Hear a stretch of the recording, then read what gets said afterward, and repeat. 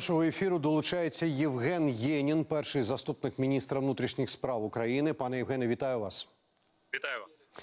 А, будь ласка, перше питання, якщо можна, яка оперативна обстановка зараз в Україні взагалом, де було обстріли минулої доби? Як багато жертв, е, зокрема серед е, цивільного населення? Російські терористи продовжують свою брудну справу і обстрілюють Україну.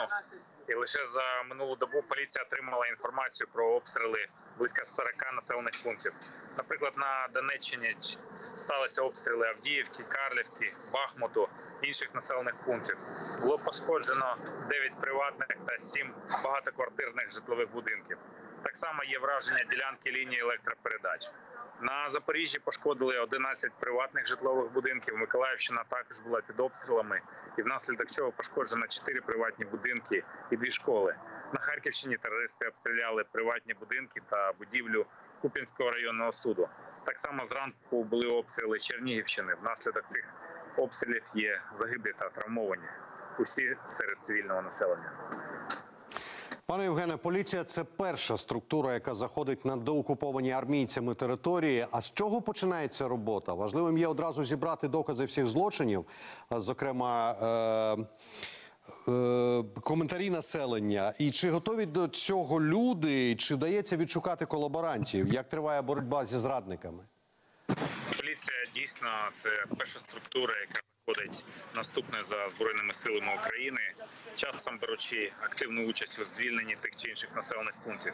І на сьогоднішній момент поліція продовжує встановлювати контроль на звільнених територіях. І звичайно, під час таких заходів під пильне око правоохоронців потрапляють і можливі колаборанти. Наприклад, на Харківщині за минулу добу до територіальних підрозділів поліції було доставлено аж 14 таких осіб. Наприклад, відносно жительки Балаклеї Ізюмського району відкрите кримінальне провадження за відповідною статтею. Слідством встановлено, що вона погодилась на співпрацю з окупаційною владою і очолила там ліцей. Наприклад, на Херсонщині так само за минулу добу відкрито кримінальне провадження проти двох жителів селища Іванівка.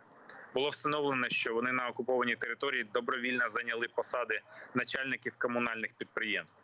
А на Донеччині, починаючи з кінця вересня, на деокупованих територіях викрито вже понад 200 осіб, які причетні або можуть бути причетними до співпраці з окупаційною владою.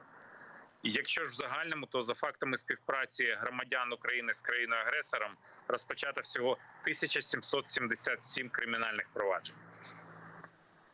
Ну і загалом, е, наскільки відомо, від початку вторгнення слідчими Нацполіції розпочато понад 39 тисяч кримінальних проваджень за фактами вчинення а, воєнних злочинів військовослужбовцями Росії та Білорусі або їхніми посібниками. А які взагалі шанси притягти окупантів до відповідальності? І чи є справи, які вже можливо дійшли до суду?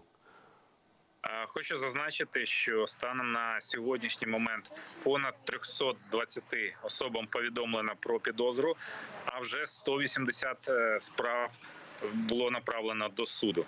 Хочу зазначити, що українська сторона використовує всі наявні інструменти, як наше правосуддя національне, так і можливості міжнародних судових інстанцій. Ми активно співпрацюємо з міжнародним кримінальним судом і маємо достатньо аргументів для того, щоб ці злочинці рано чи пізно поставили перед правосуддям, і справедливість було відновлено.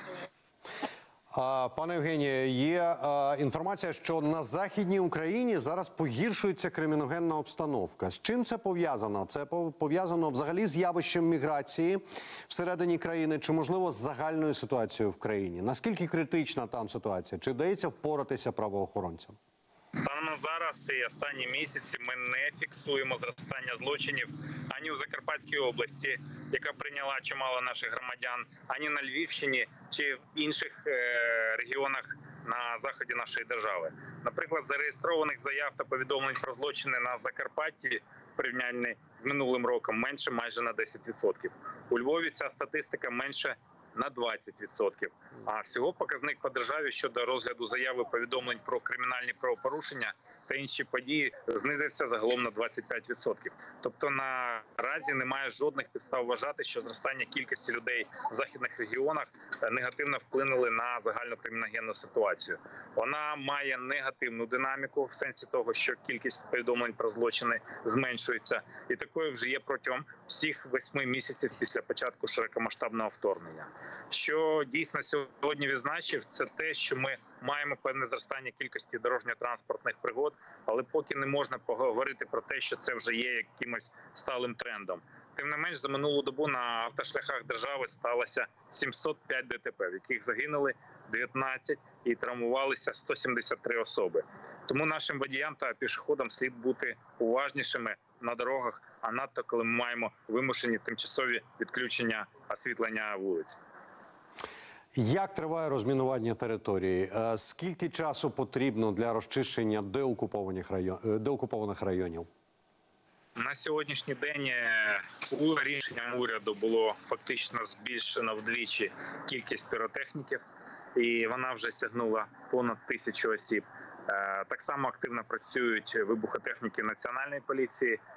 Щоденно досліджується близько 90 гектар е, нашої території. І на сьогоднішній день ми говоримо про технічне розмінування близько третини території України. Тим не менш, хочу зазначити, що цей процес є тривалим, і його швидкість значною мірою залежатиме від е, обсягів як персоналу, так і спеціалізованої техніки для розмінування наших територій.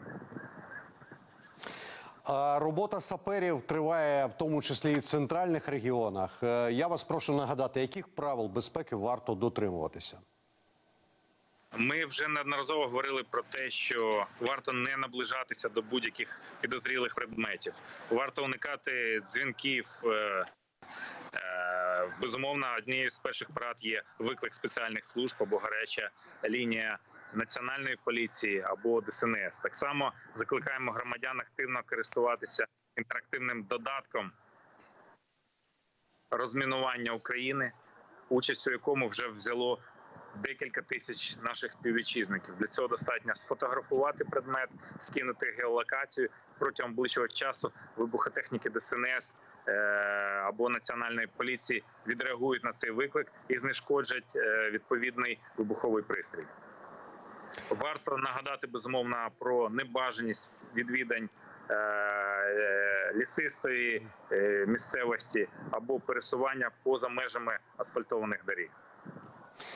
Пане Євгенію, я вам дякую за розмову, за вашу роботу ще більше. Це Євгеній Єнін, перший заступник міністра внутрішніх справ України. У нас на зв'язку. Дякую.